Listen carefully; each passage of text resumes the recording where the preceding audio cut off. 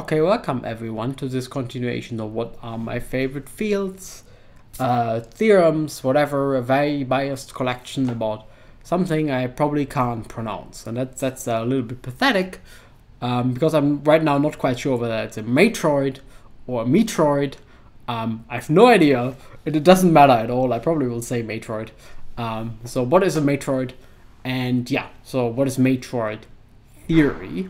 It's kind of a nice generalization, as we will see, of both linear algebra and graph theory. And it, in some sense, as I said, it's a generalization of both, and in some sense, it's a generalization of neither.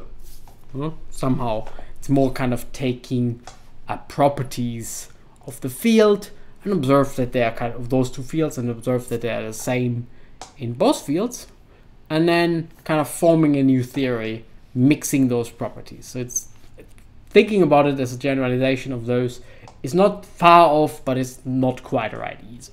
Not not really generalizing linear algebra. We'll see uh, what I mean, and it's kind of very surprising. The, the, main theorem that I'm going to show you is like really surprising. And I'll comment on that um, as we go there. Okay, so what is a fundamental property of a basis? So what makes the basis of a vector space special? So everything today is finite. Uh, so we have some finite vector space and we can think of, well, here's a matrix. So, and we want the image, we want the basis for the image, and we can choose various bases for the image depending on kind of the type of, what is it, column vectors we want to choose. Uh, here, for example, we have, for example, this one and whatever. Uh, let's do a different color. This one is here, and maybe this one is, is this one possible. And then there's another one which is here, but I could have chosen different column vectors.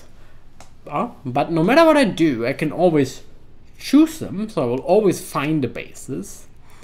And again, no matter how I choose them, I'm gonna imagine a really large matrix. There will be like zillion many choices. But no matter what I do, um, kind of the, the dimension is always the same. Dimension is usually called the rank in this case.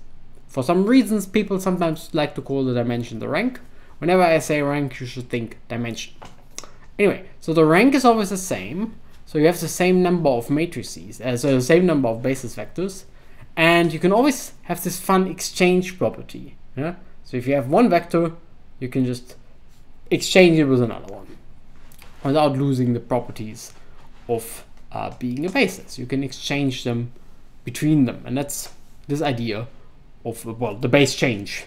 Uh, sorry, the base inter this idea of in linear algebra that uh, basis has always the same number of vectors, and you can kind of if you want to take out one, you can put out could put in another without ruining ruining the property of being a basis. If you're a little bit careful that they are still linear independent. Okay, sounds fair enough, like linear algebra um, everyone likes linear algebra. I hope you do like linear algebra. Linear algebra is really powerful. But here's something that also everyone likes. I hope you like graph theory. Everyone likes graph theory. Graph theory is very powerful. And, and the fundamental property of forests, trees. Forest is just a non-connected tree.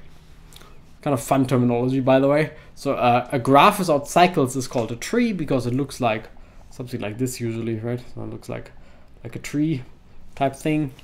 And if it's non-connected, you call it a forest. It's a collection of trees. Finally, very rare, very rare in mathematics that actually the name makes some sense. Here it does um, somehow. Anyway, so whenever I say forest, you could think tree.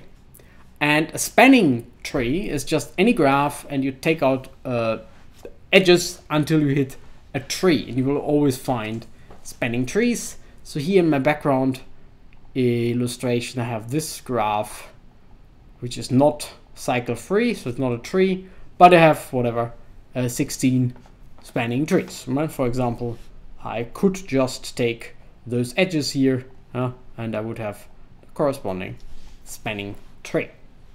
Cool. So what is so fundamental and interesting about trees?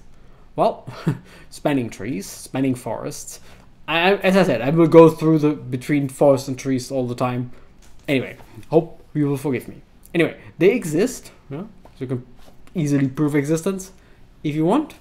Um, and again, you can always exchange edges between them and you can go from one to the other. So here, for example, this edge here, uh, you can kind of exchange it with, you can exchange those edges here and you can go from here to here. It kind of looks very similar to the base exchange property of linear algebra. And people realized that uh, surprisingly late, in the 1930s roughly, and said, hmm, hmm, hmm, maybe we can find one mass object which is like both at once, like a spanning forest and the basis. And that's exactly where the notion of a matroid, matroid, metroid, who knows, comes from. It is a pair with a finite set, and whatever that is, uh, usually something like an indexing set, the number of number of vertices or something, and uh, something in the power set, which is really just the bases, such that okay, whatever I choose shouldn't be empty. That's very good.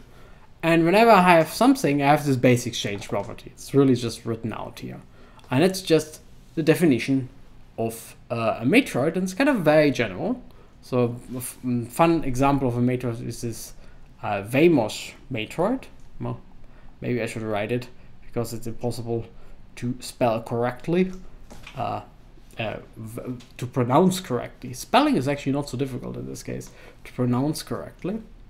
And it would be something like take eight points and the bases are the collections, all collections of four points, which are not in the picture above. And then you will realize that actually satisfies uh, the property. And one of the crucial facts about Matroid, which I have not written on um, on the slide, but it immediately essentially follows from this, is that every basis will have the same number of elements, and that, that, that number is called the rank. As I said, rank dimension. People usually use rank and dimension in kind of an interchangeable way. And yeah, so Matroid theory studies matroids. And yeah, so this is generalization of linear algebra and uh, graphs, if you want.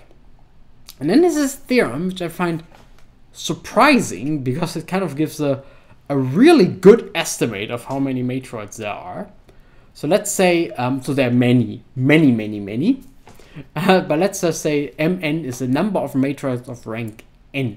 Yeah, um, the number of matroids of rank n yeah, whatever. And it starts off like this: one, one, two, four, nine, whoa, but whatever. And it starts off really harmless. Mm, yeah, but the sequence grows like really fast, as you can already see here. So here you are in the thousands, and here you are in the hundreds of thousands. Um, it's kind of a large jump. And people were thinking about how large the sequence actually get. and yeah, it's really difficult to compute each individual entry. So as far as I know, uh, only the matrix of rank 9 are enumerated. So rank 10 is, I think, still open. Let's So the rank 9 should be this one.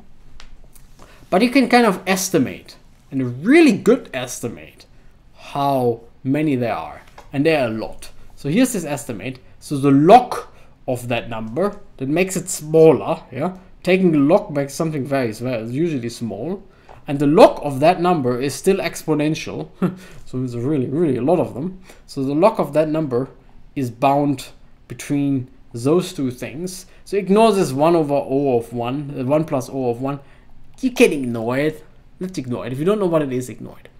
Um, so and it really says that you have this n uh, whatever whatever it is it's not it's not terribly important. And then you have the 2 to the n 2 to the n is kind of squeezing everything anyway and on the other end, so this is the lower bound, on the other end you have the upper bound, which is almost the same. The only difference is you have, well, a factor of 2 times square root of 2 over pi. So you squeeze it actually in a, in a pretty good way. You're not, right, you're not calculating mn precisely, as I said, it's difficult, but you can actually squeeze it um, very efficiently.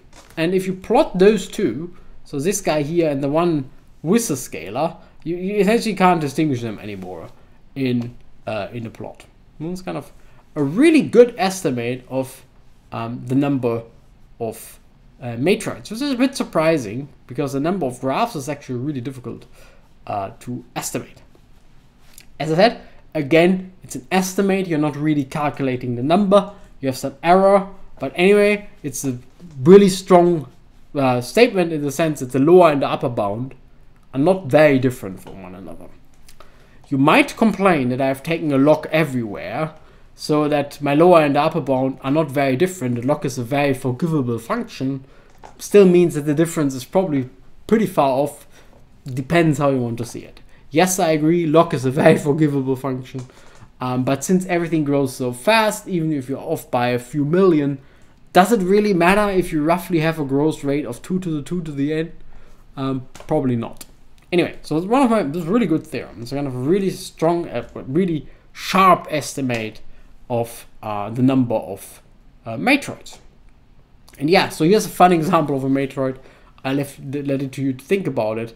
But uh, it's not just linear algebra, it's not just graph theory. There are many, many other types of matroids. And yeah, so two partitions form a matroid. And a two partition for me is just one of those funny diagrams. Let's say two partition of 1, 2, 3, which are my boundary points at the bottom, 1, 2, 3, and uh, 1 prime, which are the boundary points at the top, 3 prime. 2 partition means everything should come, so you just have pairs of sets, and here my pairs are 3, 3 prime, 1 prime, 2 prime, and 1, 2. And here are the pictures of the two partitions of that set. Yeah. It's kind of fun. And now I'll leave it to you to decide in what sense uh, these form a matroid. And there are a lot of these non-linear algebra, non-graph theory matroid examples, which make this theorem even more impressive. And that's also why the, the number, the explicit number is so hard to get. Anyway, I hope you enjoyed this video and I also hope to see you next time.